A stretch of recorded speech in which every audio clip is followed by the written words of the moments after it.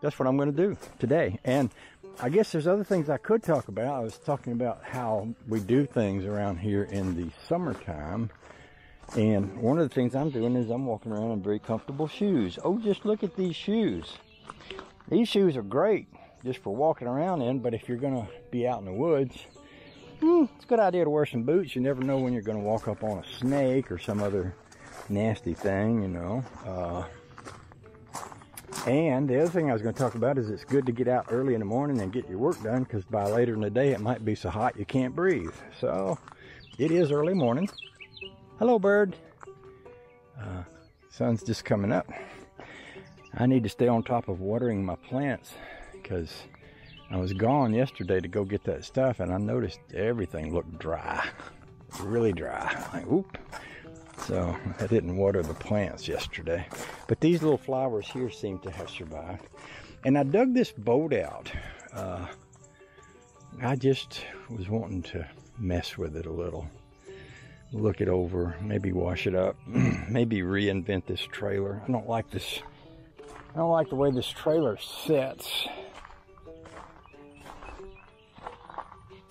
And I'm thinking of doing something with it, but I haven't figured out what yet. So anyway, those are all things, those are all things that are in the works. Oh, the joy, what a lovely day. Best day ever, remember that. And uh, yeah, and there's that seat that, uh, that uh, he gave me and I was going to give, I think I am going to give that to Bobby. But we'll see. I might, yeah, I think I'm going to give that to Bobby. I could use a new seat on my own mower. But the way it hinges and fits, I'd probably do better to... Actually, the seat is good. I bet I could buy... I bet I could buy a new cover to go on that. Mm. Mm. Okay. Back to work.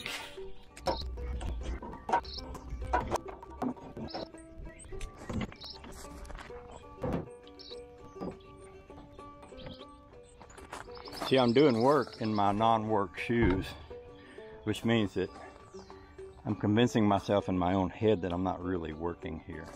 So far it's working.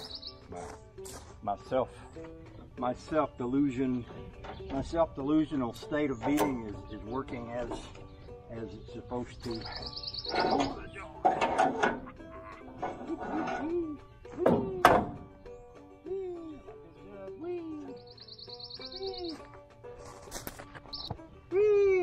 this is the unstrapping the unstrapping of the equipment.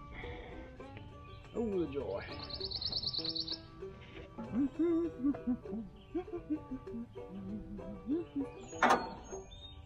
Sometimes I just feel like Cutworm, Cutworm 59. If any of y'all don't know him, you ought to go watch some of his videos. He's very cool. He's very cool. We like us some Cutworm. Yeah, we do. So, so, so, so, so. Hmm. Hmm. So I think I can lift this off without disturbing that engine. I'm gonna need some chainage. So I'm gonna go get me some chainage. And, uh, we'll see what we got always kind of a balancing act of moving something like this.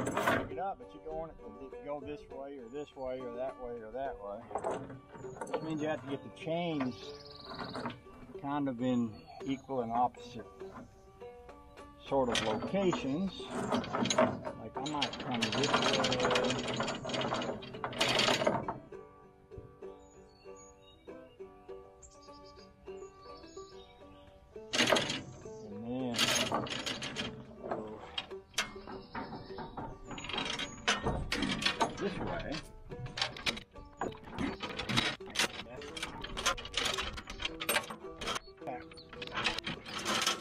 Get the tractor, we'll try that. Notice me still not working in my boots yet. See, I keep talking about this because, see, it's a mental factor. If you're wearing work clothes, then you're working. But if you're if you're just dressed in your casual beach wear and you're doing work, that's not really, is that really working? I mean, seriously? I mean, could it be that it's not really work?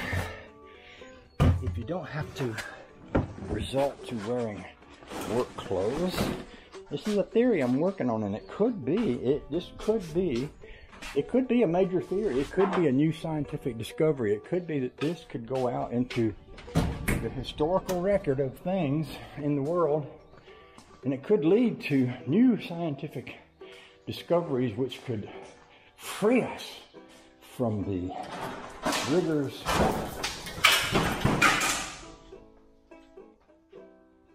of working, of a working attitude. It could it could allow us to liberate ourselves from the from the horrors of day-to-day work ingness. Hmm. You can tell I'm on my historical. Uh, yeah.